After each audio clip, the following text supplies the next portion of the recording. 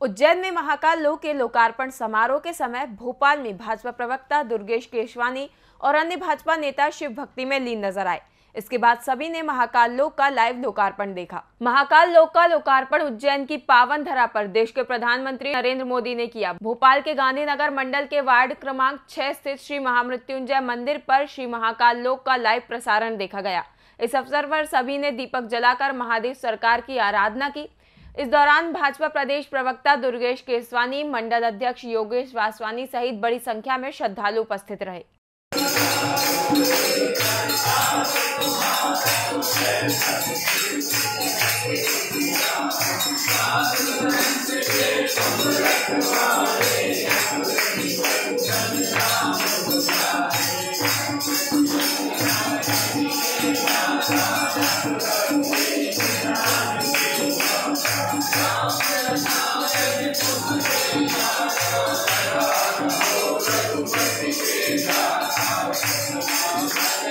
Ah.